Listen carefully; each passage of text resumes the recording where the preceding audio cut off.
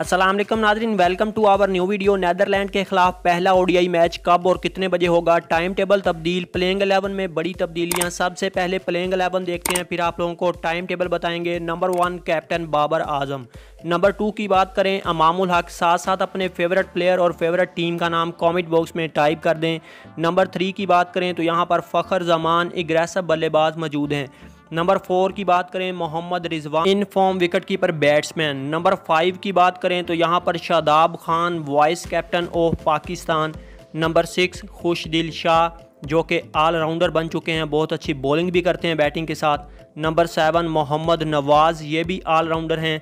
Number eight की बात करें, शाहीन अफरीदी, जो कि मास्टर ब्लास्टर बॉलर हैं पाकिस्तान के। Number nine, Haris Rauf number ten की बात करें तो यहाँ पर मौजूद हैं मोहम्मद वसीम जूनियर। नंबर 11 की बात करें तो यहाँ पर बहुत ही बेहतरीन बल्लेबाज ओपनर अब्दुल्ला शफीक मौजूद हैं। पाकिस्तान और नैदरलैंड के दरमियान पहला ओडीआई मैच 16 अगस्त दोपहर दो बजे शुरू होगा। पहले ये दो बज के तीस मिनट पर शुरू होना था। अब दो बजे शुरू होगा। कौन सी टीम जीतेगी? चैनल को सब्सक्राइब करें, लाइव चले।